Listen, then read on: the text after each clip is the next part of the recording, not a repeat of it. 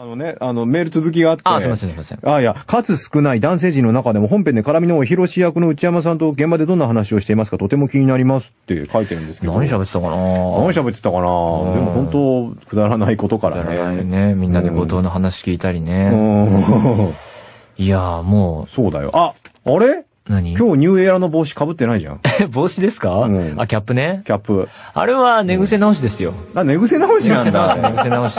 あ、そうなの？僕はすごいとても髪が硬くて、うんあの、寝癖ついちゃうと普通には治らないので、うんうんまあ、で、朝にお風呂入るのもめんどくさいし、そういうという流れで帽子は、そういう理由なんだよく被ってますね。あれでもね、俺も、うんあの帽子、うん結構最近お気に入りで、うんあの、たまに被ってんだけどキャップ、あれ、あの、前回ね、うんラジカモン、あの、ゲスト、はいなるひな来てくれた時わに被ってて、うんそしたら、あの、言ってた。なんでヒロシの帽子だ イメージになっちゃってんだ。もうね、ニューエラじゃないよ、あれ。え？彼女らにとっては、ヒロシの帽子だから。うっちがやばいなかぶってたから。ヒロシって呼ばれてましたね、うんねちっちゃい子から。呼ばれてた。呼ばれてた、呼ばれてた。ヒロシだーっつってとでもさ、何？あの、あえてうん、ちょっと端っこの方座って、あ、最初はね、うんちょっと、な、まあ、様子見るでもないけど、うん小野さんとか子供たちがわーって遊んでるの、すごいちょっと俯瞰して見てたところ。俯瞰してたよね。うんちょっと静かにしてようと思って。だよね。本当に元気がいいから、あの人たち。あの人たち。あの人たちをね、本番中に静かにさせとくのがいかに僕ら大変だったかね。そうなの。そう。いや、アフレコ中って本当当に物音一つ立てちゃいけないから。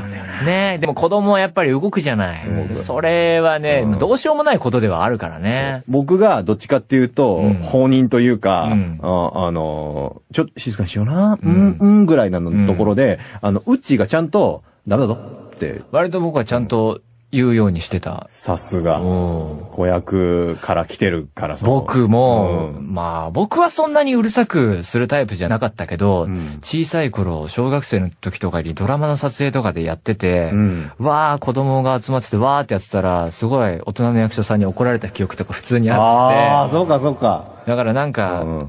普段すごい優しい人がパッてこう鋭く一言言うと、ん静まるなっていうのはなんとなくあったんで、あるよねまあ、それはまあ時と、うん時には大事かなとは思ったけど、めっちゃ助かったよ。いやいや。そう、最初は俯瞰してようと思ったんだけど、もうそれどころじゃないとねもう、もう、もう輪に入ってたな。最後みんなでお菓子食ってたもんな。もうみんなでお菓子食べてたな。